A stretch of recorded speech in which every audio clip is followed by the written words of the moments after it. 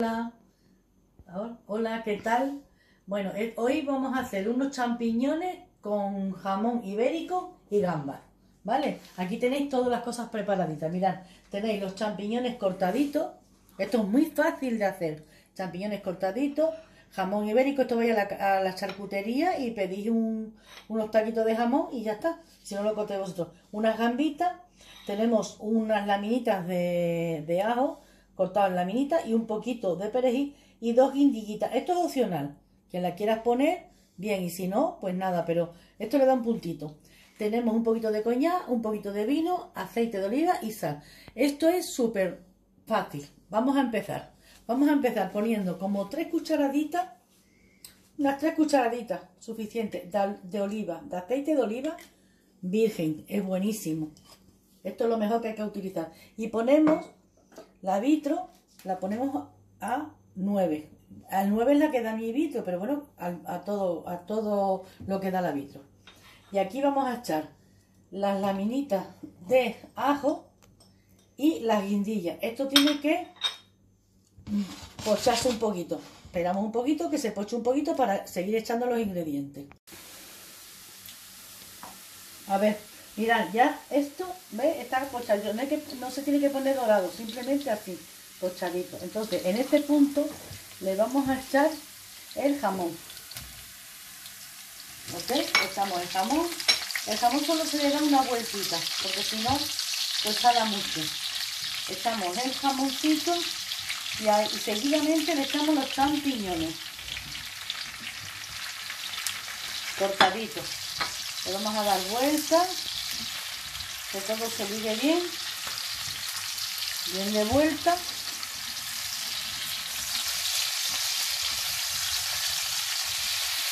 Tiene que ligarse todo bien con el aceite, el jamón, todo bien ligadito. Y aquí, ¿ves? Ya está ligado todo bien. Esto es muy fácil de hacer y rápido. Aquí, una vez que ya está ligado bien, le vamos a echar un poquito de coñac. Una chiquita. ¿Escucháis cómo suena? Esto es espectacular, buenísimo. Le vamos a echar un poquito de sal, pero muy poquita porque tiene jamón.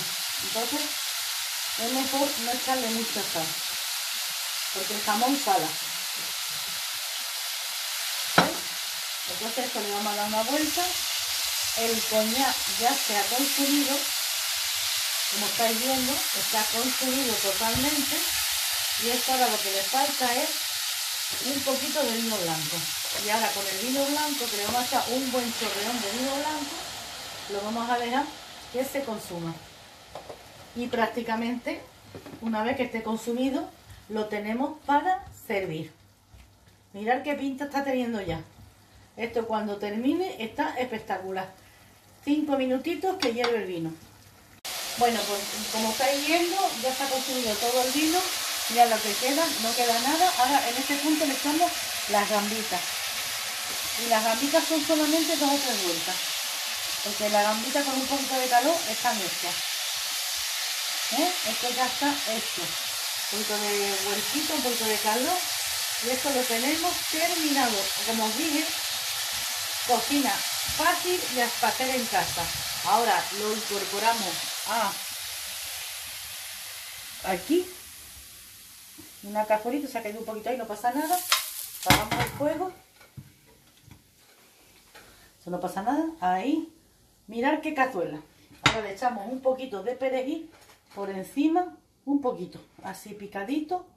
Y ya está. Y aquí, como veis, tenemos nuestra cazuela de champiñones con jamón ibérico y gamba. Fácil, fácil de hacer. En cualquier momento nos vale.